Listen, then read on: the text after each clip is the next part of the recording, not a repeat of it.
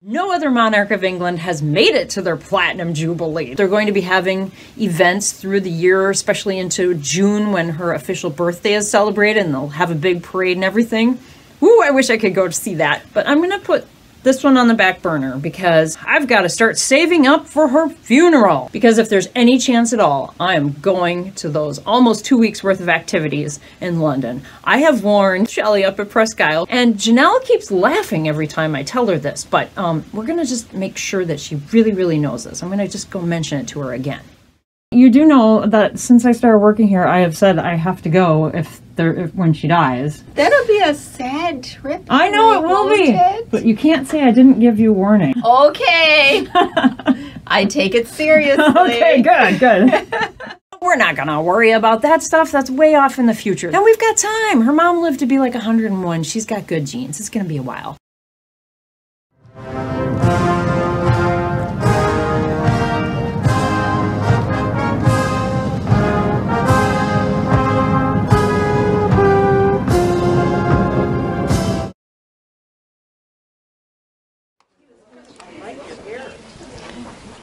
As people are kind of coming in here, I will just do a little show and tell. Before the Queen passed away, they were switching to polymer banknotes in England, and that is plastic money. And here I am holding a 10 pound note. You can see on the upper left, the 10 and the 20 pound notes have little dots on them for people who are low vision.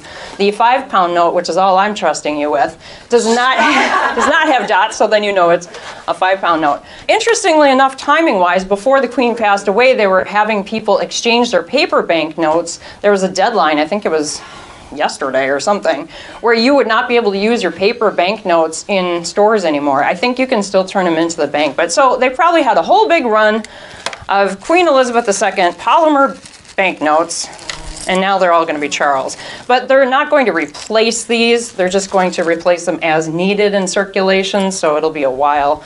And I brought coins too, just in case you haven't seen British coins. And if you look closely, you can see three different ages of the Queen on the variety of coins that I have there.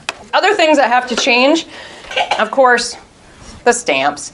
And this gets me because I do a little stamp collecting and the Machin series of stamps that was named after this gentleman at the bottom.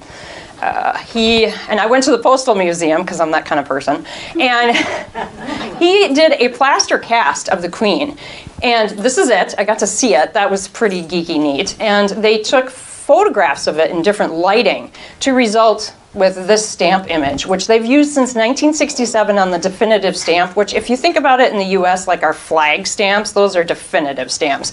But in the UK, they've always used this image since 1967, but with different color backgrounds and different denominations on the stamps. And it would be one of the world's most reproduced pieces of artwork in the history of ever. And now that will change. So many things have to change. I was looking on the boxes of walkers back there, and it says by order of Her Majesty Queen Elizabeth II.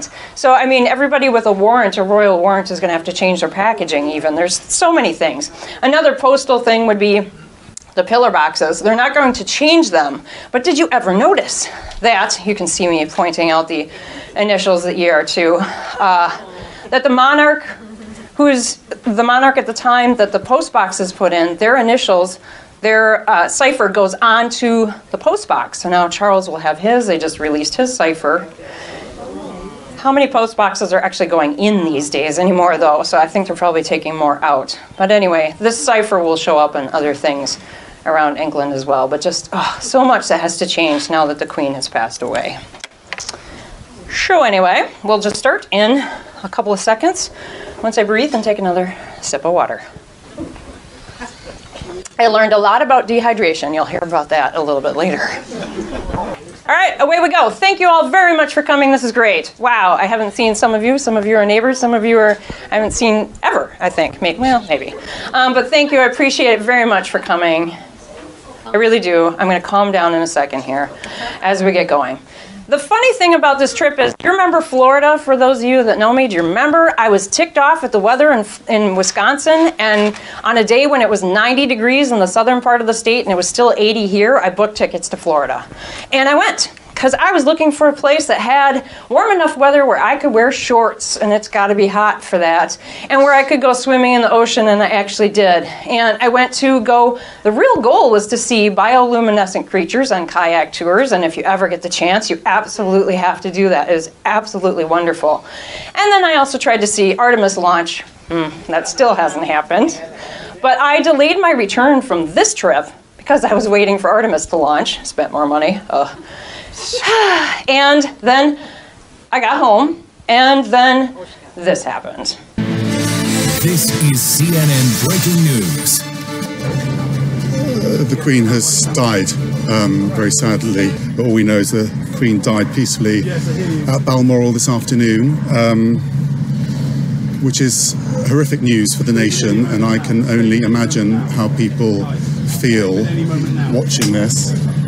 You'll see that the flag over Buckingham Palace has been lowered. Um, I don't know quite what to say. I mean, this is the news we were dreading. Uh, I had gotten from, I work in Presque Isle on Thursday mornings, and my mom had called me and said the Queen wasn't well, and the people in Presque Isle found out I was crazy because I just lost my mind. And then I made it back to Manitowish Waters before the library opened and I was watching CNN. I don't know why CNN, but the live feed on my computer when I saw that. And that guy, I mean, he he went on for a while like that where he just didn't know what to say. And I kind of felt like that. I couldn't form sentences. I was crying. My mom can testify. I called her on the phone. I was a mess. And I should not have made financial decisions that day either. You know how, like, after surgery, they tell you not to? after the queen dies, don't let Sarah make financial decisions. It's really, it's really too bad. I've, yeah, I don't want to dwell on that too much. Anyway, so I went to Florida. Here's how my September went. I didn't go anywhere for three years, and then I went everywhere in September. I got home on the 6th. I went back to work, you know, for a few days, the 7th, and the Queen passed away on the 8th, and I left for London on the 10th. It was 44 hours from the time I saw that CNN headline breaking news till the time I was driving out of the driveway to go to the airport to go to the funeral. As it turned out, because she passed away in Scotland, I had a couple days leeway there, but again, don't make decisions when you're very emotional.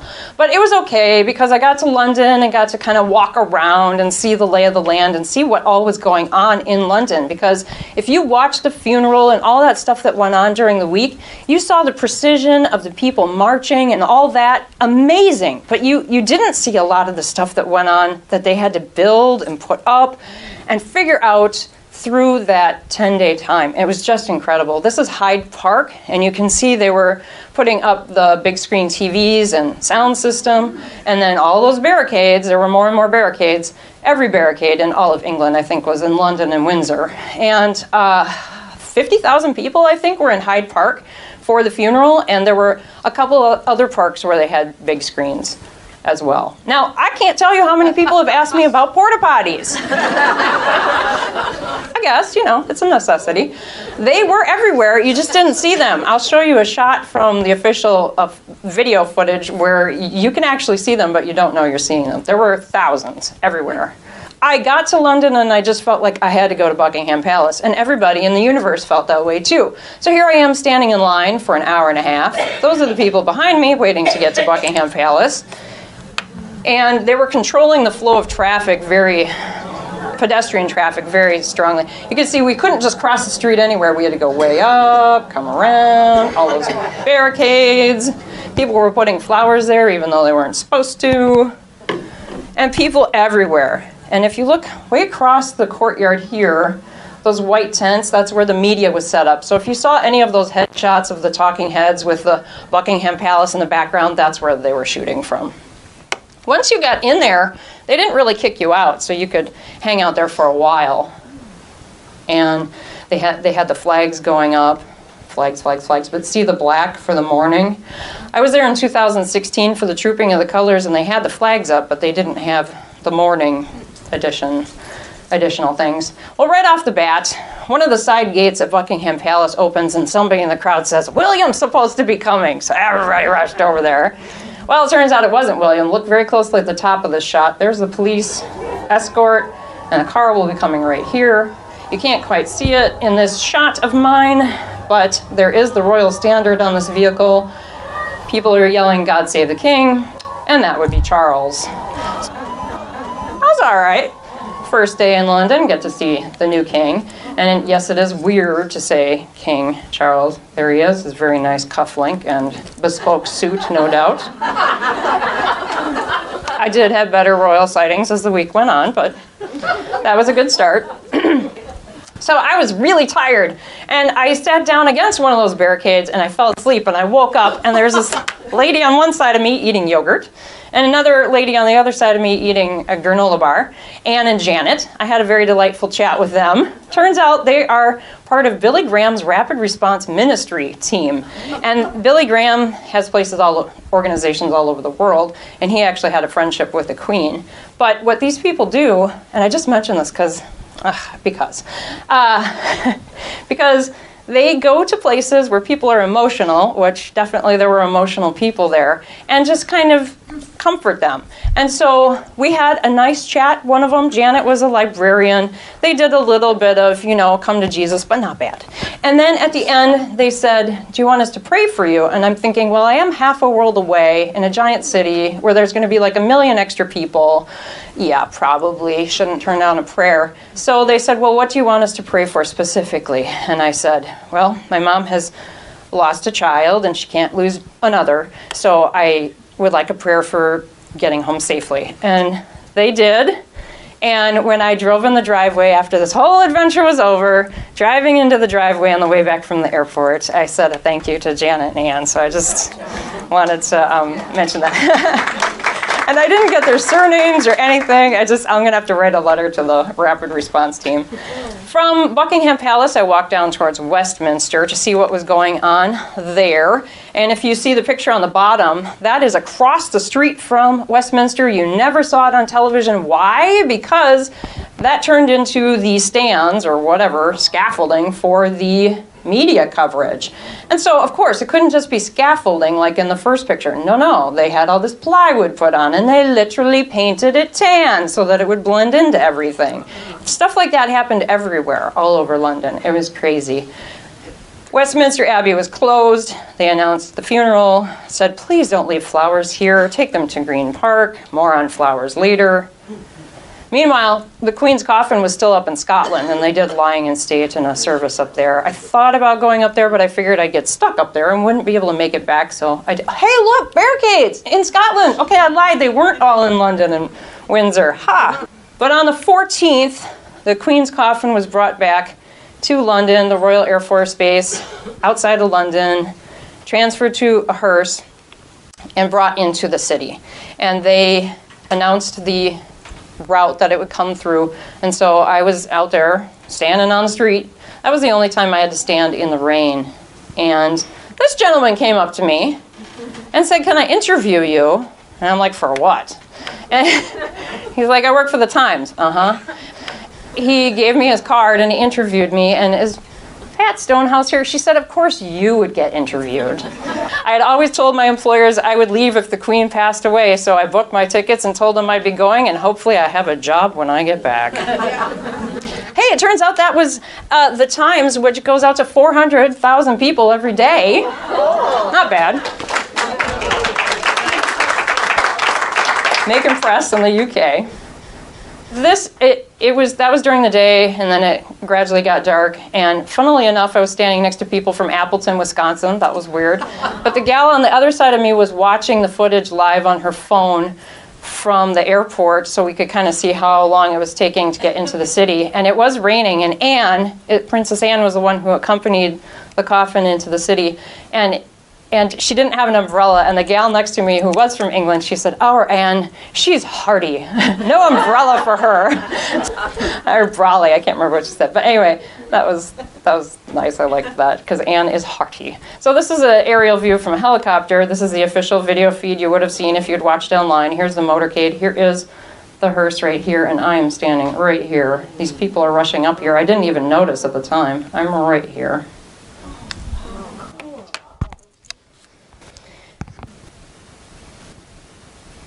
Uh, Anne was in a car, not this one, but the one behind that. You'll see that in another shot. Oh, not that one. I guess it was the one after that. By that time, it was evening. It was still raining. So this is in London. They carried on that way. Hyde Park would be right over here if you're familiar, and then it carried on down towards Buckingham. I did not notice these people rushing. I was so intent on what was going on on the street. And they really didn't shut down traffic much. I thought there'd be this big pause in traffic and we'd be ready, prepared for when this was going to go by. But they, those little police motorcycles kind of just stopped across traffic and were like, halt! And then all of a sudden the coffin was there. It was amazing. This was the moment where I kind of went, I'm here. This is crazy. And this is my footage. My footage is not that great because I was just holding the camera out and watching with my eyes. This this is real time. I mean, like, look how fast that happened. It was crazy. I waited for hours and then bam, it was over. Yes. So it was very dramatic with the dark sky and then the very bright LED. Um, that's Anne going by there. See the Bobby bowing? I'll talk more about that later. There's a shot of him. I'll talk more about that later. The next day at 2:22 p.m. Precisely. They were going to march from Buckingham to Westminster Hall where the lying in state was going to take place. I got up at 5 and walked out and around down the length of this where they were going to have the procession for this. By the time I got to this barricade, it was 7:30, and that's where I stood until about 3 o'clock in the afternoon. It was a lot of standing. So just to get a lay of the land, Buckingham Palace is here. The Mall, that red street that you see on all the scenes from the funeral and everything, that's here. Then they went across Horse Guards, which is where Trooping the Colors happens, big open gravel area, and then they made a, a turn and went straight down to Westminster Hall. So I am the green dot. I don't know why I'm looking crabby over here, but whatever. but this this gives you an idea of the area where I saw them come through. And see all these people in high vis jackets? Can you see them all the way down? Those were security, event security people, but then, and you can see them all on the backside there too. Zillions, zillions of them. And then zillions of police officers too.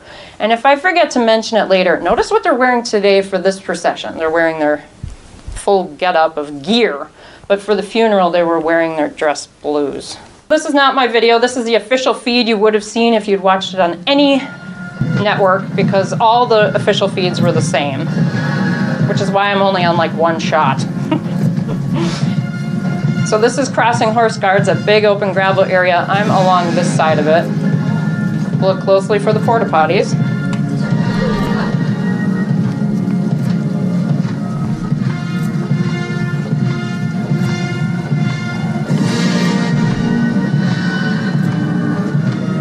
It was very dramatic. People did applaud, not like wild crazy, but I just don't, I think they didn't know what to do. I'm standing right here by this white flag.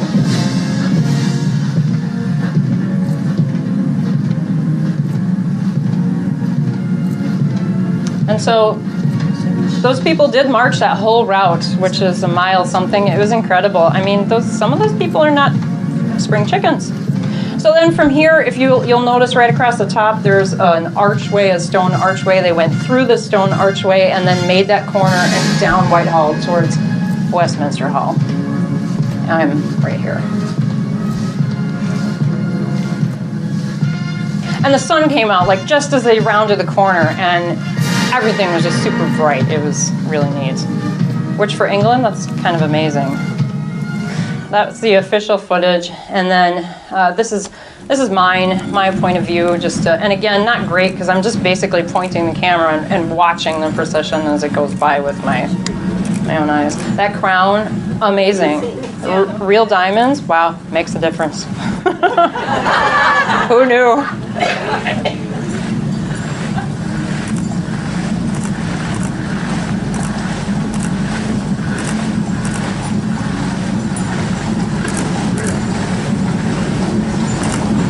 And on the on the on the official feed, you got kind of the same audio over and over because that's what they were getting piped in. But you would get kind of these like lulls in the music between the different bands that came by. It was really interesting. So there goes the royal family and lots of other people. And then uh, just one last time, this is that official shot. Porta potties right here behind curtains. That's where I am. Do you wonder how they got this shot? Check, check this out. This guy, like a real live guy, up on a little tiny platform, way, way, way up high. He's higher than the buildings He's higher than the snipers on top of the buildings. Not the job for me. Nope. Crazy. Crazy.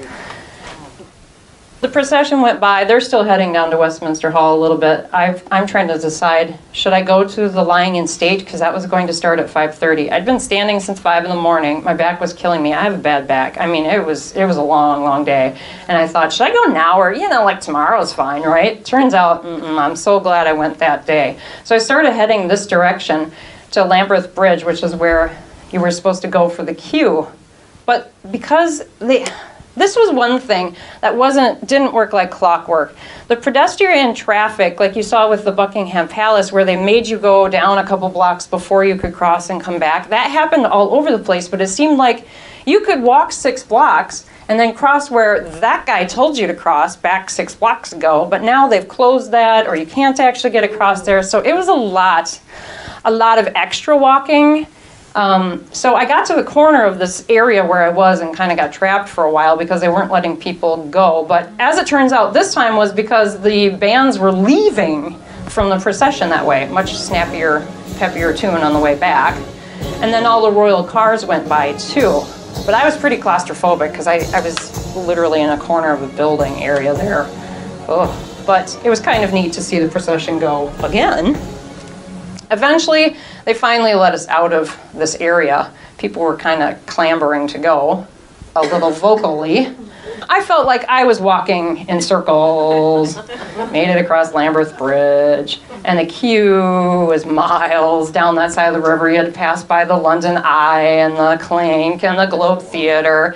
And this was also just one thing that wasn't quite perfection as far as planning. They made you walk all the way to the end of the queue, even though at this time the queue wasn't full. Later, you probably heard stories about the queue to the queue, and it's because the queue was full. But at this point, it wasn't. But they still made you walk all that way to get a wristband and then walk all the way back. So it was a lot of walking. Got my wristband though. Oh, you bet. As a matter of fact, at this point, we were walking pretty quickly. I was feeling pretty good about things. passing by. This is a Parliament and Big Ben behind me, and I have my wristband. It says on here it does not guarantee entry, but we'll see what happens. We're getting much closer than we were before and moving quite rapidly. Yeah, that moment in time. but it was not that fast all the time. We would stop, we would stand, we would start, we would go. And I'm by myself. I do have to say that if you end up in a situation like this, I can't imagine another situation like this, but go with somebody because you need to have somebody hold your place in line so that just just just for a moment, just somebody else to watch your stuff, just somebody. but um, I don't know anybody else as crazy as me, so I don't know who would have gone with me to this, but we're crossing the crossing the river and then we're feeling pretty good about life and the line and then we hit this section here the snakes. People were calling them the snakes. And it was like a line from disney world hell or something. And you ended up in this section which this was the first day so people didn't know this was coming. I think later because it showed up on the papers people knew. But this was soul crushing. You can see I look a little soul crushed at this point. Oh. And they were also threatening to take your water away. And at one point before you got to the snakes, they, they said, All right, remember, no water, no food. And so I got all nervous and I did something rash. There's a couple checkpoints ago they told us they were going to take our the rest of our food and water away, so I got rid of the rest of my food and then I drank almost all the rest of my water and now we hit this section of the queue.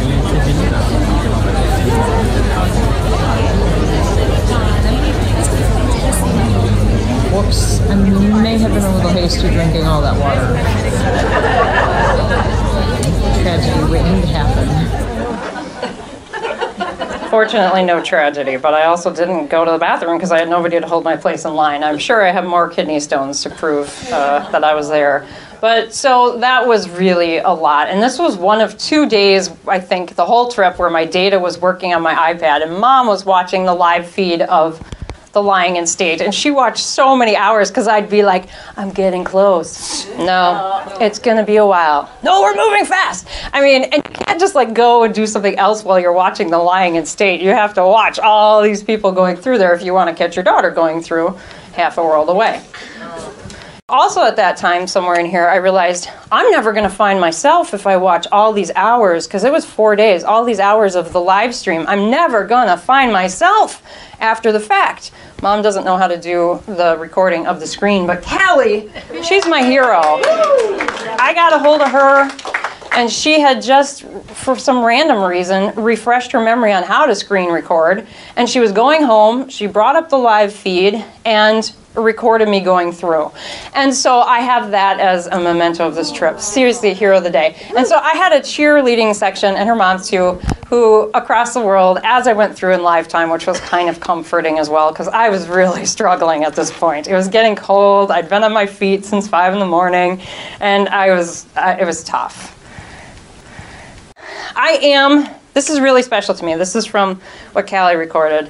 And it's so special that I kind of almost don't want to share it, but you guys are special because you came. And so I'm going to show you like 20 seconds of the lying in state, and I'm going to talk about it for a little while. Sorry if it doesn't interest you, but this was really the thing that was the most emotional for me for the whole trip, even the funeral.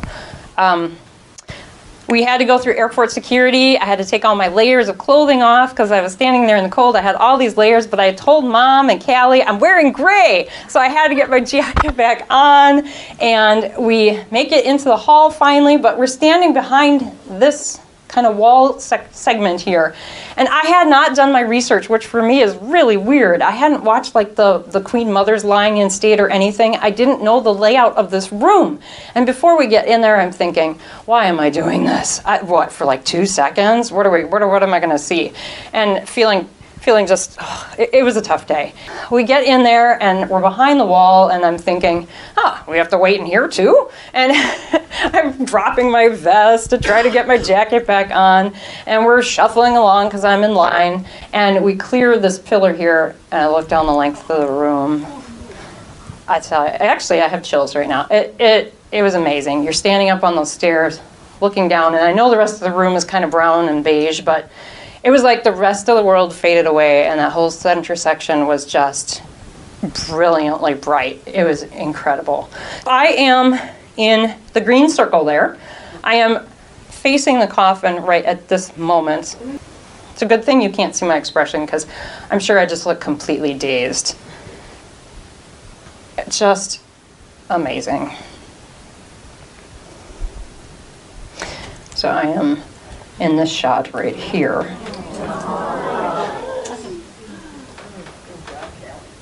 Yes, thank you, Callie, again.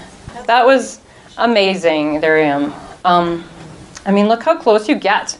And those, those gentlemen in their bright uniforms, even just so stock still, were so imposing. And the colors on the Royal Standard and the crown, and just, oh, I walked the length of the room actually because you, you can't see it after that on the live feed live stream. You walk the rest of the length of the room the large open doors at the end to the outside world and people were kind of slowly going and crying. Grown men were crying people were crying. They were kind of standing just outside the door looking back.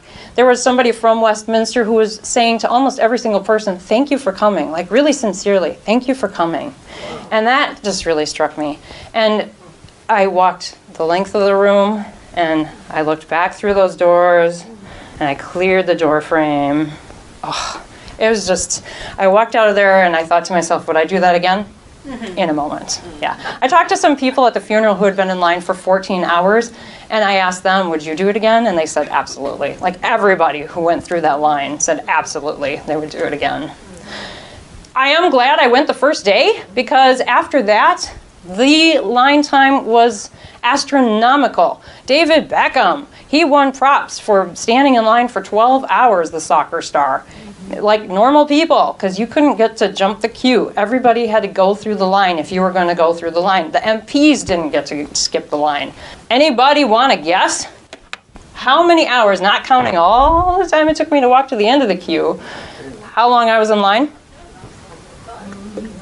Not as long as you would guess, but it sure seemed like a long time. It was six hours and 38 minutes. I made it through the lying in state and had a couple of days, so I decided the day before the funeral to go to Windsor because I knew I wasn't going to get into the castle, but I wanted to see what was going on down there.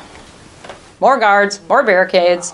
It was a little more laid back than London, but it was a lot of people there as well. Gorgeous day.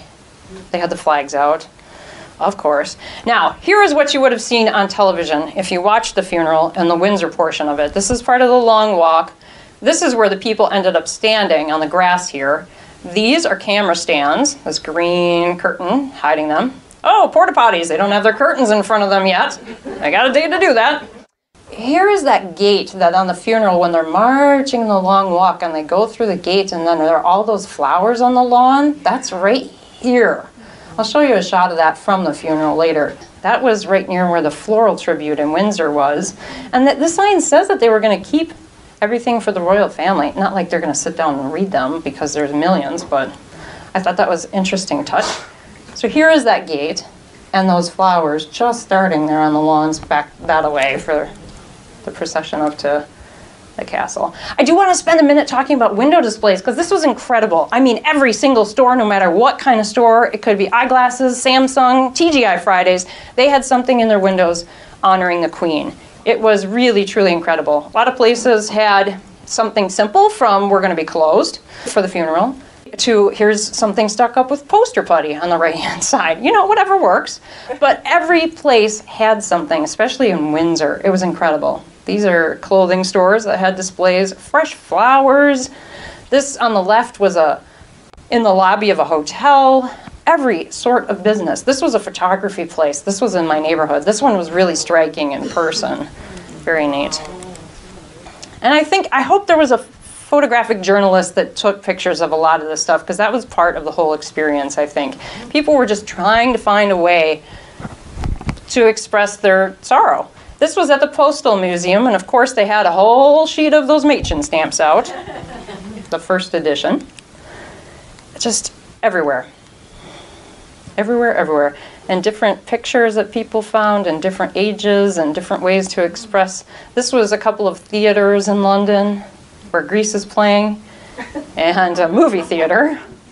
This is in Piccadilly Circus on one of those giant digital screens. And then some places chose to have nothing in their windows as a sign of respect. Fortnum and Mason is the Queen's grocer. I won't get into why that's a designation, but as a sign of their respect, they kept their windows covered. And then Barbour chose to do that too, saying that they've been proud and honored to hold a royal warrant. That's a special designation too, I won't go into. Marks and Spencer, same thing. So instead of showing clothing of the week, which this is Marks and Spencer shirt by the way, I got in London. It's my big splurge. They chose to show nothing as a sign of respect. A couple people were already God save the king. I was I'm not there yet. not there. Need some time. This place had hand painted signs on either side of their pub door. One for the queen, one for the new king. This one, can you tell what this is? When you know what it is, it's so neat. To look closely. I looked this guy up, and you should too. Snowwindows.com. Tom Baker. Do you know how, like, when you flock, you do with those flocking pictures and you put a template up and you spray the flocking and then you take the template off? Nuh uh. This guy sprays the window and then with a paintbrush, he removes the excess to create these images, and he did one for the queen. Incredible. And then this is kind of a unique one too.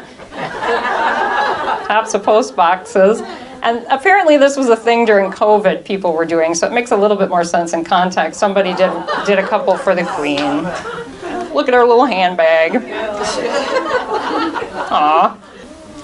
Every website I went to was honoring the Queen in some way with a banner at the top. Google, I don't know what they did in this country, but the days leading up to the funeral, they grayed out their logo on the day of the funeral. They did it in black. Yahoo was doing black as well.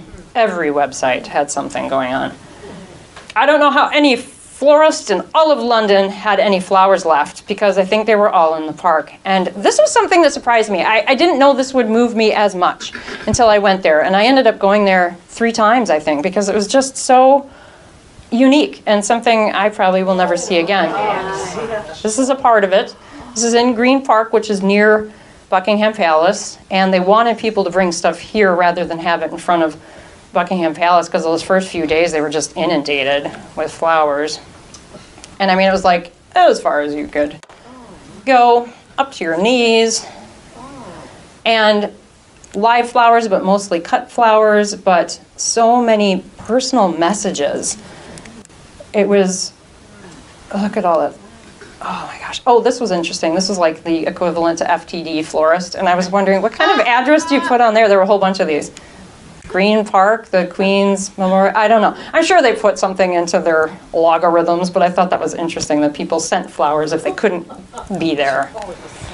Lots of, the kids' ones really tore me up. Lots of corgis, lots of little corgi pictures. This one is Queen Elizabeth walking her corgis on a windy day. I didn't make that up, it says that up here.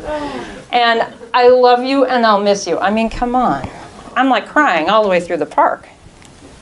And not just kids, adults with handwritten, personalized messages to your majesty, fancy handwriting. Who handwrites anything anymore? Uh, in foreign languages, just gobs. You could spend hours there just reading notes. This one, two different members of the family took time to write individual messages. It's just, I hope somebody recorded a lot of these too. This one, although we feel orphans, like they've lost parents. And people were trying to put flowers anywhere. They just felt like they needed to. This was a war memorial, but it has Queen Elizabeth's name on it, so people were just putting stuff there. Just anywhere and everywhere. And then grief is the price we pay for love, her quote from after 9 11. And okay, so Paddington Bear, let's just take a moment to talk about that. That became quite the deal and actually quite the problem. It came about because for the Platinum Jubilee, have you seen this? YouTube it, it's very cute with the Queen and Paddington Bear. And then the day she passed away, this came out, uh, practically everybody saw it. And they were begging people not to bring any more Paddington Bear stuffed critters or marmalade sandwiches. This is in Paddington Station, train station, with the brass Paddington Bear, and people were leaving stuff there, including a marmalade sandwich. everywhere. Stuff was everywhere. I thought I had taken a picture of it, but I couldn't find it. One of them said something about um, one of the notes at the floral tribute, something about, I hope you're happy with Philip in heaven, and if you see my dad, say hi. I'm telling you, I was crying like every two feet in the floral tribute. Alrighty, here we are, the funeral, the reason you came, the reason I came. Long procession route. She's lying in state in Westminster Hall. They take her to Westminster Abbey. That's where the funeral was, if you watch this. Then they marched up Whitehall, across that big open gravel place where I was for the last procession, down the Mall to Buckingham Palace and Wellington Arch. I got up at midnight. Yep, and started walking towards Wellington Arch. I'm like, I'm standing there. And they wouldn't let you. I got yelled at actually by a police officer. And um, no, you can't stand here. So then I got a little panicky and I uh, was like hightailing it. And again, you have to go like back and forth, back and forth because they won't let you just go in a straight line. Up to the Mall, the Mall people are camping. It's like four people deep. I'm thinking, holy cow, I'm going to end up at the park watching this on big screen. I came to London to watch it on big screen. And then I they weren't letting anybody stand at that time in Horse Guards, so I ended up on Whitehall. And I wasn't even in the front row, I was behind people with a tent, but at least the tent wasn't as tall as me. And I thought, well, I could see over the tent. Well, eventually they made, made everybody take their tents down, and the very nice Irish people that had the tent let me scooch up to the front, so I was in the front for the funeral. So, very nice Irish people. I have a sleeping bag from them too, actually. Here I am on the streets of London at about 2:30 in the morning. The funeral procession was at noon, by the way. Here we are, it's now daylight. Notice these columns in the back and this building. You'll see them in the official shot if you look quickly. That's where I'm standing. The royal party goes towards Westminster, and we got to see them go by. The royal standard on the car, so that's the king. So then in the official footage, when they showed that, I did find myself in one extra shot. There I am. Next to this flag that the Irish people brought. I'm still wearing my vest and holding up my, my camera, and there's my head right there. Honest to goodness, it's me. They were piping the funeral on loudspeakers down the street of London where I was. And all these people had been chatting and, and visiting and meeting new line buddies, I call them, because it was a phenomenon I saw over and over again. People were perfect strangers after you stand next to them for six or seven hours. You're great friends. I got a sleeping bag from the Irish people. I mean, come on. They were piping the audio from the funeral down the streets of London, and the whole crowd of people that had been talking and chatting were just silent. And when the funeral started and the choir started to sing, I mean, it was goosebumps. And I can't play that audio for you to avoid copyright problems if you're watching this online, but trust me, goosebumps. It was so angelic. It was something. People were telling me that actually Windsor was more moving that part of the service than this, but for me, just hearing it down the streets of London was pretty impressive. Pretty impressive, and I couldn't even see it.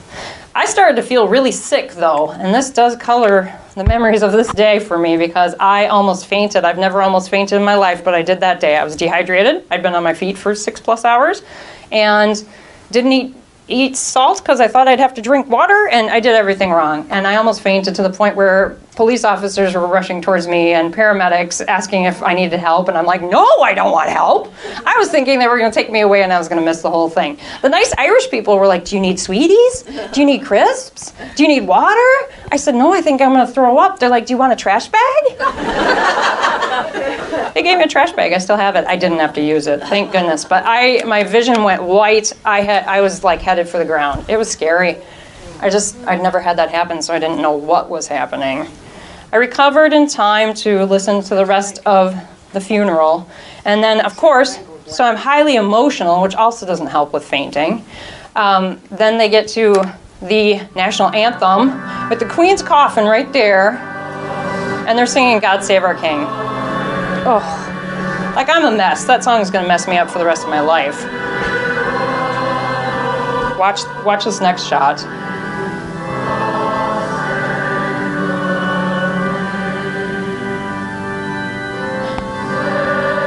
Who's not singing? For 70 years, the only person who didn't have to sing the national anthem was the Queen. She would stand in the middle of everybody singing to her, and now it's Charles.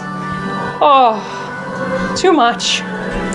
Too much. Very emotional day for me.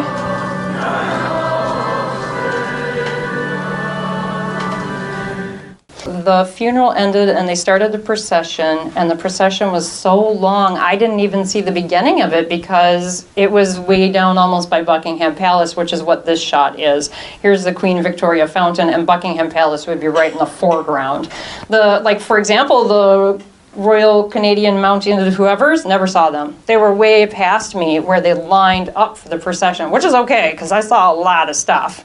But the funny thing about why my mother couldn't even find me in any of the shots is because for most of the time, the official live footage is showing the Royal Mounted Canadian Yahoos. Gosh darn them. I'm sure they're lovely. And their mothers love them. And um, but they were showing this shot during the time when the, the coffin was going right by where I was standing. So I'm in like two frames, which is fine. But anyway, I just find that amusing. Here we go. This is the official footage you would have seen if you watched the funeral procession. Here's the royal family Anne, got Harry, William, Charles. I'm behind, right here's that white flag. Here I am. And there's a coffin there. And it was precision itself. When these Navy guys started coming down the, the street and I could see them, and I knew they were the ones carrying the coffin on the gun carriage. Oh, I'm telling you, this was an amazing day. So now they're turning that corner into horse guards across that open gravel area where I had been for the procession the other day.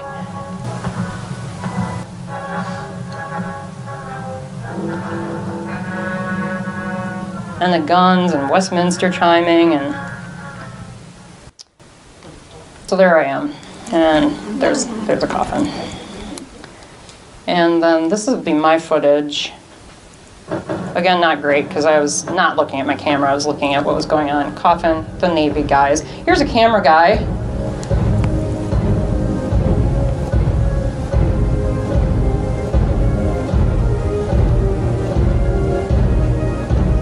I heard that several of these people fainted too, but they had like reason. I was just standing still. See the Bobby in his dress blues today and his head bowed? I'll talk about why in just a minute.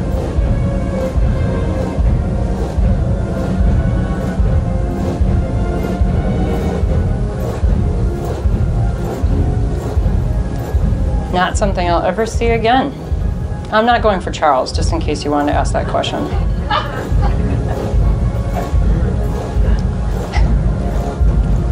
So they had a lot of guys on the front, but they had a lot of guys on the back for breaks too. And then the royal family, you'll see them coming up right in here now.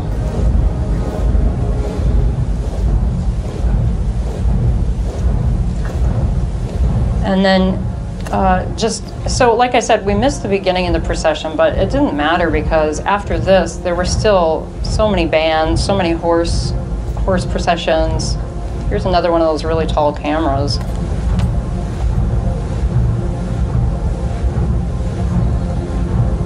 And the Bobbies only had a whistle, so they couldn't really do much as far as defending. But don't worry, there were guys with automatic weaponry everywhere too.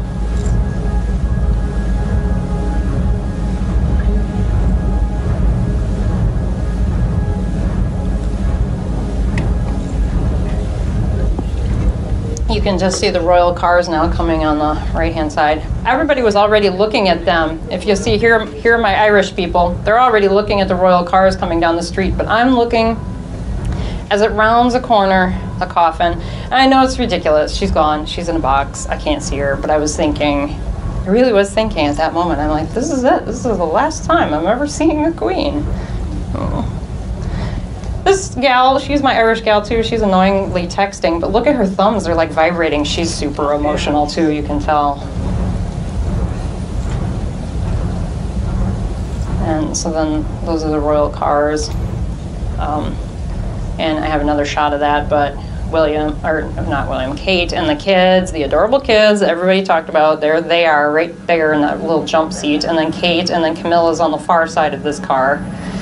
And uh, then we had Meghan, and who was she with? Sophie? I can't remember. And then uh, Beatrice and Eugenie, or however you say her name, were in the following car after that. And all sorts of other royally type people. Lots to see. Watch this guy, he does his salute and bow very properly. And the day of, if you think back to when the coffin was coming into the city, that night shot and the guy was bowing, on their little uh, radios, they were being told, bow your head when the procession comes by.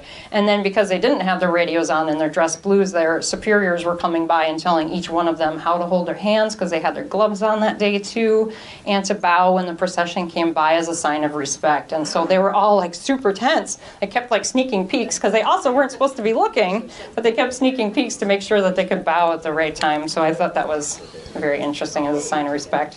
They marched back around Buckingham Palace to Wellington Arch, Wellington Arch, then along the park, and then out to Windsor. And at Wellington Arch, they switched from the uh, what you saw there to the hearse. And here's another, just a little bit of look at that. This was the day before the funeral. I was by Wellington Arch thinking I was going to stand in this area. Silly me, I should have known because they put sod in there. That is too good for me. That would have to be for the royalty. So imagine this shot with the dead brown grass that was there two days before. Heavens no. So they put in sod for the royal family to stand on for this shot. Found that interesting. I stayed put for two hours drinking water and eating snacks, so I felt better. But also because I knew they weren't going to let us out of that area. By the time I got back to where I was staying, I got to watch the, the part of the procession in Windsor. So this is that long walk now where I had the picture the other day. All these people, the cameras in the green along the side, the procession going down towards the castle. There are all those flowers on the lawn. And her horse and groom. I don't even like horses. I'm crying about the horse. Crying about the corgis. I don't even like corgis. Her corgis are there. I mean, come on. I was crying all the rest of this whole thing. Did you wonder what was up with the stick and the breaking of the stick? They did talk a little bit about it, but the Lord Chamberlain, he's the most senior position in the royal household. This symbolizes the end of his service to the monarch, like that's it, you're done. And so that was very symbolic. And of course, they took the crown and the scepter and the orb off. That was a lot. And then, so that she returns to the grave as a normal human being. And then they read all of her titles one last time Most mighty as she's going into the most crypt. excellent monarch, Elizabeth II, head of the Commonwealth, defender of the faith, and sovereign of the most noble Order of the Garter. And then bagpipes. Bagpipes get me on the best of days. How about you? Crying. And then that's her bagpiper, and he exits. And it fades off into the distance.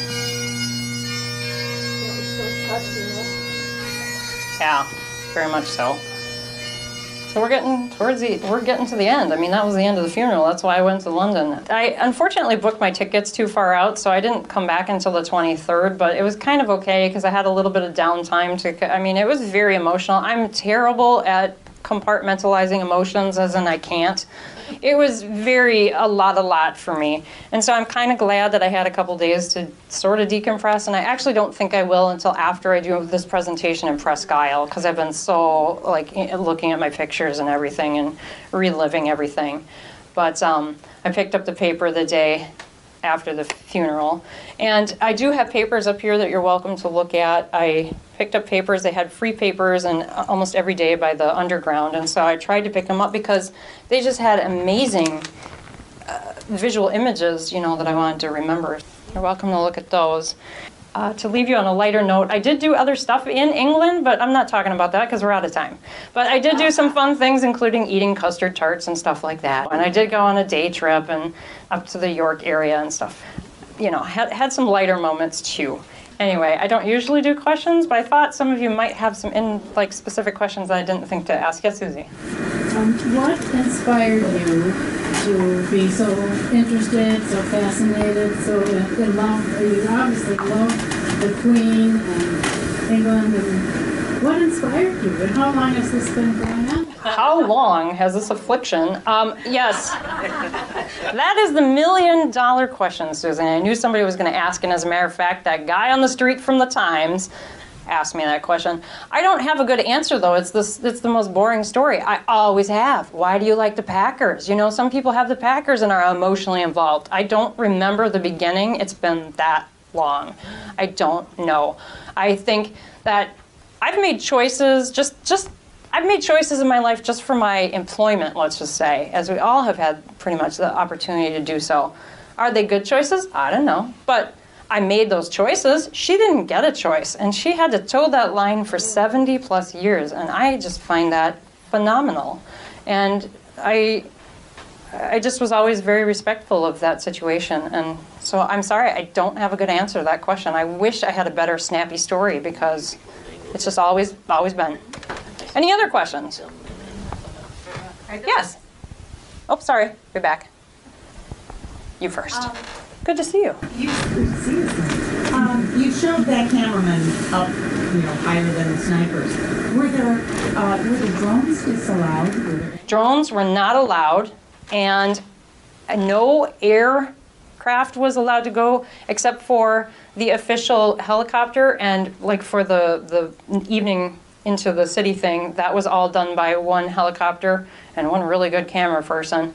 And as a matter of fact, I meant to mention during during the two minutes of silence, they did not even let commercial air flight go from Heathrow so that it was absolutely silent. And it was for those two minutes. The only thing I heard were crows down the street having a little conversation. That was it in London. Wow. Amazing. So, yeah, no drones. Yes, Leisha. Do you have anything keeping track of how many steps you took this entire time? Do you know? I wish I had had one of those Fitbits or whatever to find out. And I also want to know how many. So she asked about how many steps I took, and then how many hours total I was standing. I would love to know that too, because it was more than I've stood in my whole entire life. I think. Yes, sir. Yeah, I'm curious about your travel arrangements. You were able to get a flight uh, on the last minute and then a hotel as well. Yes. The question is flight and hotel. Remember about that not making decisions when you're emotional. I got a flight. I had been earmarking some miles for it. It did not cover it, but I knew this was what I was going to do. And the other thing, though, finding a place to stay I was not in an emotional place to do that. Um, it was a flat, which was kind of okay, but kind of gross. The building and the neighborhood were fine, but it was dirty. The kitchen, which was this fully functional kitchen, no. And it had like one pot and a pan with meat juices on it. And it had a syringe in the refrigerator door. I'm hoping that wasn't like recreational and more like diabetes, but still, it was there.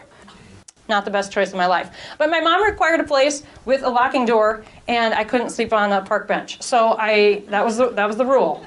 Kelly, did you have a question? Yes, I was looking at your boxes, and so I wanted to know about your grocery store experience. Oh, What's your favorite grocery store, Sarah? You're hilarious, Callie. Callie has inside information on the fact that I went grocery shopping every single day. I told my mom there must be a 12 step program for this. I love British snacks. They're so much fun. I went and looked at every kind of potato crisp. It's a it's a thing in our family though. Every flavor, every kind of I like baking stuff. Have you watched British baking and they're using all these crazy ingredients you've never heard of? I went to Waitrose and had to go look at the baking section. Yogurt. Best yogurt in the world is in England. I don't know what my favorite was. They're all delightful. Go to Waitrose, go to M&S, go to Tesco, go to Sainsbury's. Thank you all very much for coming. It really means a lot to me that you cared enough to want to hear more about it.